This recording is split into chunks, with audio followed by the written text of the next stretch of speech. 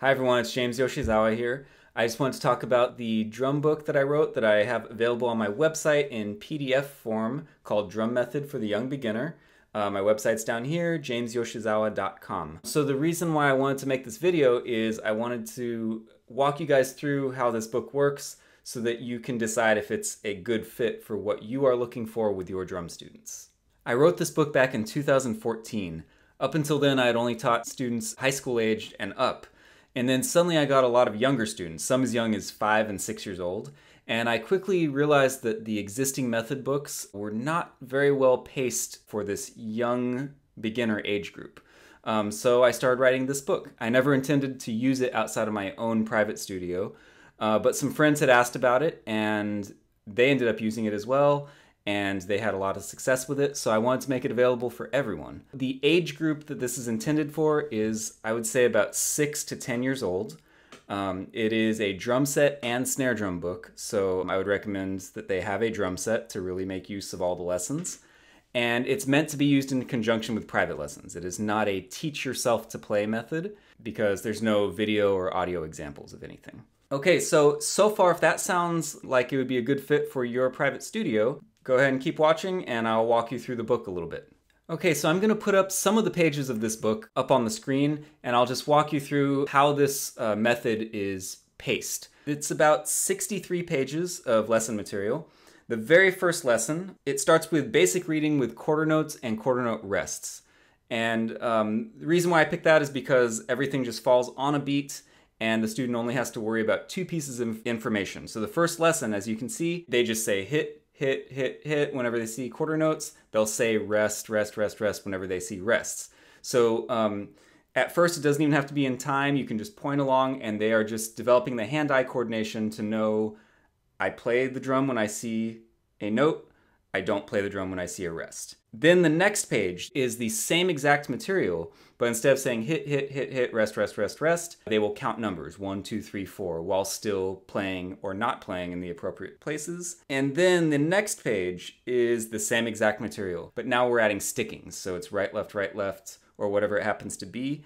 So now they have to um, negotiate strokes between the different hands while counting, while keeping track of notes and rests. There's about three pages of that. Um, then I have these uh, pages that come up every now and then in the book with each new lesson where you compose your own music using the stuff that you've learned so far. So for this particular one, they will use quarter notes, quarter note rests in whatever order they want. So they get practice writing it. I've had a lot of students who have taken lessons, they can read music, and they've never once tried to write notes. So this is a way to just get them to write some stuff. Some really take pride in the compositional process and some will just put random notes down, um, but it's at least getting them to write this stuff. Then it touches on half notes and whole notes a little bit.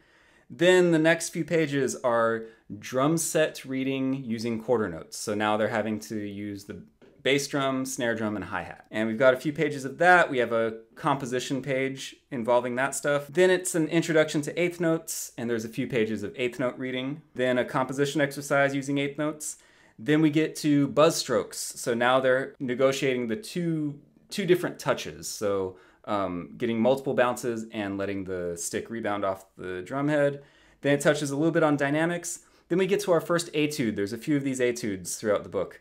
Um, so this uses everything they've learned so far. It uses quarter notes, quarter note rests, dynamics, buzz strokes, eighth notes. Um, this could even be used as a short, simple recital piece. Okay, then we have eighth note grooves on the drum set where the right hand is playing eighth notes on the hi-hat. We have eighth note fills. Um, then we have eighth note rests.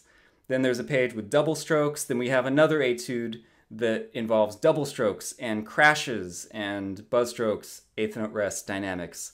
Another simple recital piece they could do. Then we start getting into 16th notes, and it's the same basic process, but now just adding layers of complexity. And there's a handful of pages of that where it's mixing 16th notes and 8th notes and quarter notes.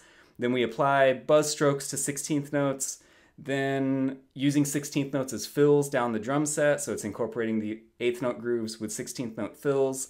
Then a composition exercise. Then it gets to some really simple flam rudiments. And we get to another etude where it's using flams, uh, fills down the drums, crashes, buzzes, 16th notes. Uh, then we get to accent reading. Um, that's in a really simple, non-threatening format, just quarter notes so that it's not intimidating for the student. Uh, then we get to one E and, two E and, and one and a, two and a, so mixtures of eighth notes and sixteenth notes. Has some more etudes, has a paradiddle study, it has some flam rudiments, it has some four bar phrases of rock grooves with fills at the end. Um, has a composition exercise where you write your own fill in the fourth measure. Some more dynamic stuff. Then it has 6-8 reading, then some 6-8 grooves, then 16th notes on the hi-hat using two hands playing alternating strokes, and then a final etude.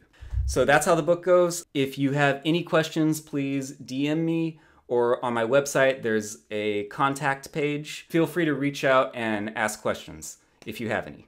Okay, thank you. Take care, everyone. Bye.